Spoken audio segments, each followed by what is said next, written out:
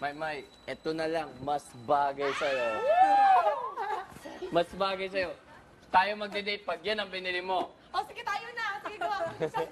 300 lang yan! 300 na talaga? 300 lang yan. Oh, ang, ito ibibilin ko kapag may libreng kiss sa lips. Ay, sa lips. sa chicks po. Sige, may libre kang kiss sa cheeks. Ah, sige, go. Bibilin ko na to. Bibili mo na, ha? Ah. Okay? Oh.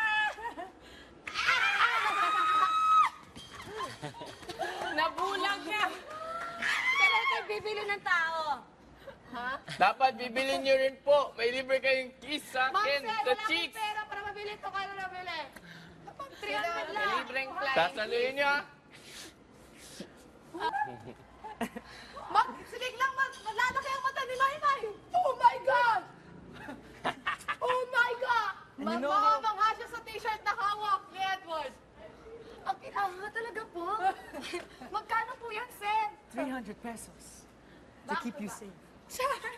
Um, Pasok mo, Edward. wala pa akong pera eh. Mabili din. Sorry. Sasabihin ni Edward, please buy this Please t-shirt buy this t-shirt for my mind for my mind so I can. so I can keep her safe. Char, char, kay kapoy. English to. English yun. Ma'am, Sen, sige na, Ma'am, Sen. because wala lang.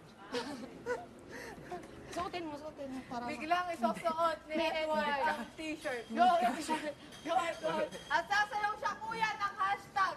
Kuya, music kuya. Hashtag. Wait lang. Kuya, music. Hindi ka. Ayan na.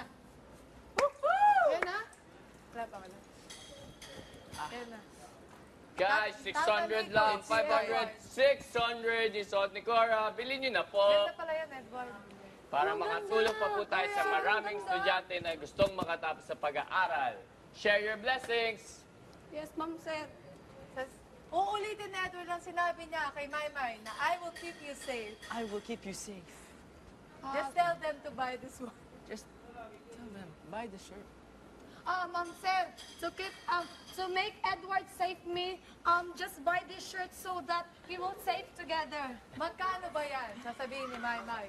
Um, magkano ba yan para bilhin nila ba? Ano na? 300.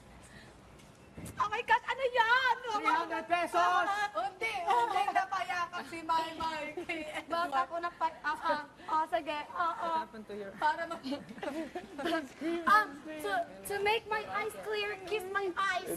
So, Kiss my eyes.